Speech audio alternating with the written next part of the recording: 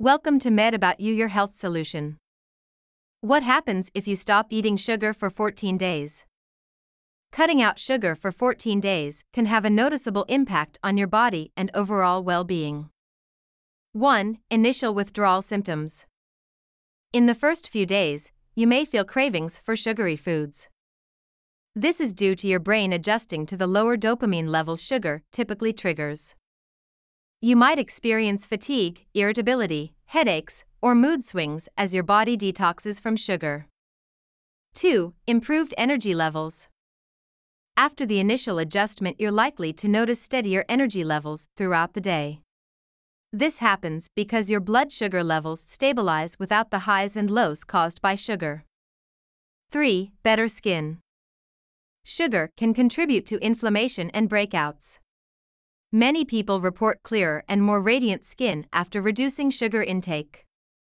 4. Reduced bloating. Sugary foods can lead to water retention and feed gut bacteria that produce gas. Cutting sugar can reduce bloating and improve digestion. 5. Weight loss. Eliminating sugar often reduces overall calorie intake, especially if you're cutting out processed snacks and sugary drinks. This can lead to weight loss, particularly around the abdomen. 6. Improved mental clarity. Stable blood sugar levels can enhance focus and reduce the brain fog that often accompanies sugar crashes. 7. Reduced cravings.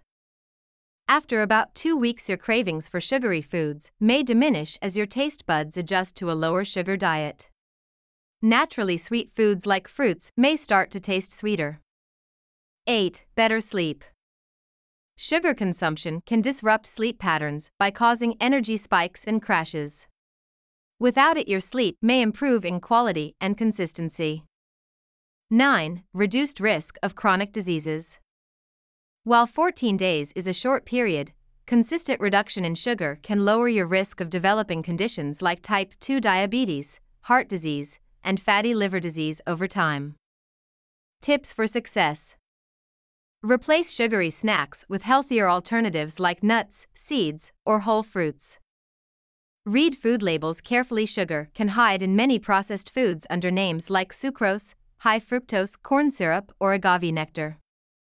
Stay hydrated, as thirst is sometimes mistaken for sugar cravings. Thanks for watching. Please like, share, and subscribe.